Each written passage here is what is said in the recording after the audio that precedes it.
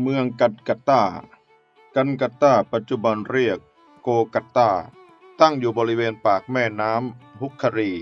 ที่แม่น้ำคงคาไหลมา 4,000 กิโลเมตรเศษ สิ้นสุดที่ปากอ่าวเบงโกลลงสู่มหาสมุทรอินเดียตรงนี้ และชื่อของเมืองโกกัตตา ในว่ามาจากศัพท์กาลี กัตตา ซึ่งหมายถึงท่าน้ำของเจ้าแม่กาลี เมื่อบวกกับชื่อ เสียงเรียงนามและอานุภาพแห่งความเชื่อ ต่อเจ้าแม่กาลีมากขึ้น จึงให้ชื่อว่ากันกตา เป็นการเชิดชูยกย่องคำว่ากาลีกตา เป็นภาษาเบงกาลีว่ากาลีกตา สันนิษฐานว่ามาจากกาลีบวกเกษตร เท่ากับกาลีเกษตร แผ่นดินของเจ้าแม่กาลี หรือกาลีคาดหรือ กาลีกัดหมายถึงท่าน้ำของเจ้าแม่กาลีนั่นเอง ความเป็นมาของเมืองกันกัตตา เป็นเมืองใหญ่ของแคว้นเบงกอล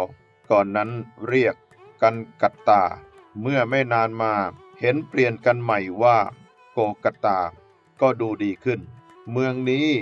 มองทางไหนก็เต็มไปด้วยตึกรำบ้านช่อง มีผู้คนให้ฉายาว่า เมืองปราสาทราชฐาน เพราะลักษณะ ส่วนมาก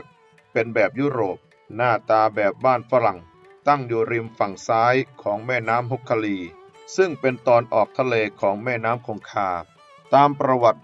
เล่าว่า เมื่อราว 300 ปีก่อน พ่อค้าอังกฤษ บริษัทอีสต์อินเดียมีจ็อบชานอกวงเล็บ คศ 1630ถึง1693 เป็นหัวหน้า ได้ออกเดินทางค้าขาย เมื่อถึงแม่น้ำฮุกคลี ก็เข้าไปตั้งภูมิลำเนา ค้าขายอยู่ที่บ้านสุตตนติ ในบริเวณเมืองกันกตาปัจจุบัน กับหมู่บ้านอีกสองหมู่บ้านชื่อ กาลีกตตากับโควินทปุระ ต่อมา เจ้าชายอาชาม โอรสของ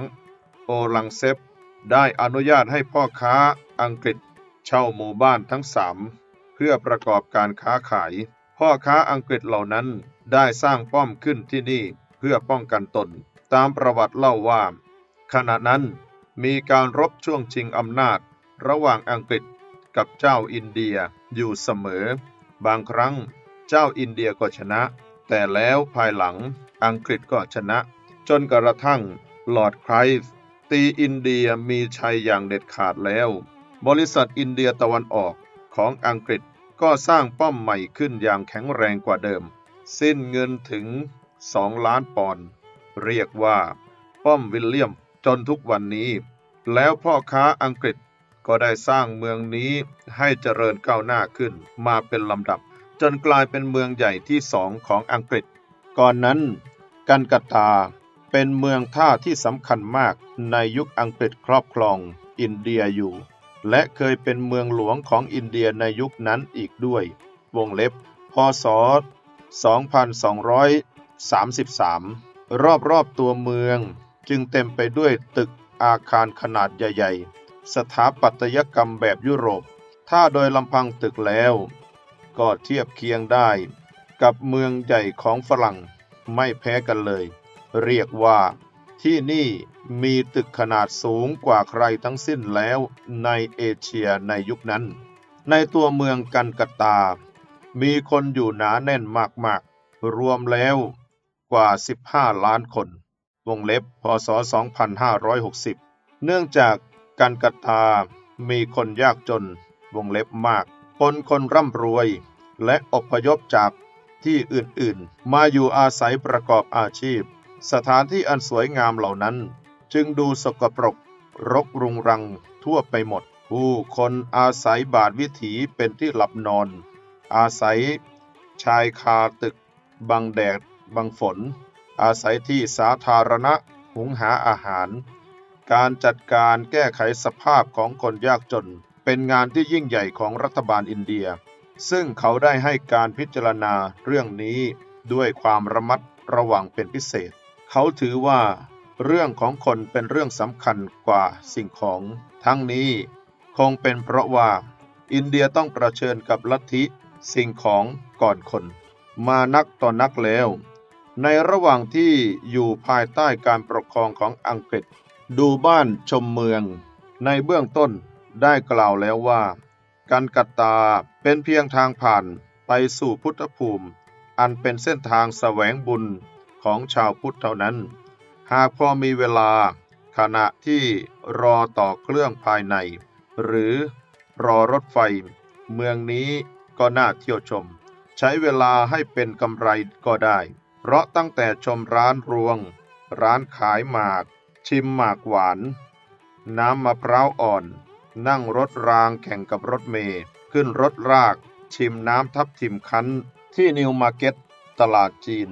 สนุกกับขอทานน้อยใหญ่ มีงูกัดกับพังพอน คนขัดรองเท้า ผู้คนขวักไขว่ล้นบาทวิถี เมืองนี้ถือเป็นเมืองหฤหรรษ์ ตามที่ได้ฉายาว่า City of Joy จริงๆ ผู้คนมากมาย บางแห่งเดินกันในถนนทั้งรถทั้งคน ปนอยู่บนทางเส้นเดียวกันได้ อย่างน่าเวียนหัว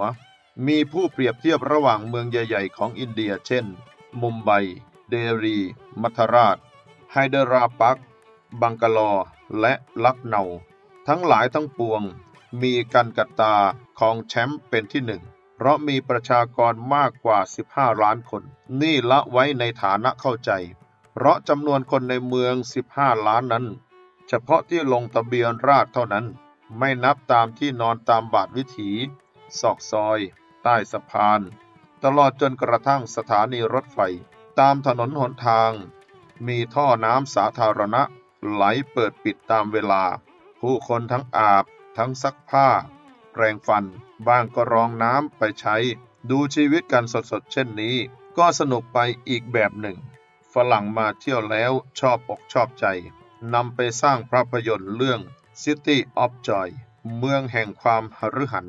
ออกฉายไปทั่วโลก เป็นที่ครื้นเกรงสนุกสนาน แม้แต่โรงหนังในเมืองไทย ก็นำมาฉายอยู่นาน ส่วนสถานที่น่าสนใจ พอแนะนำได้บ้าง มีดังนี้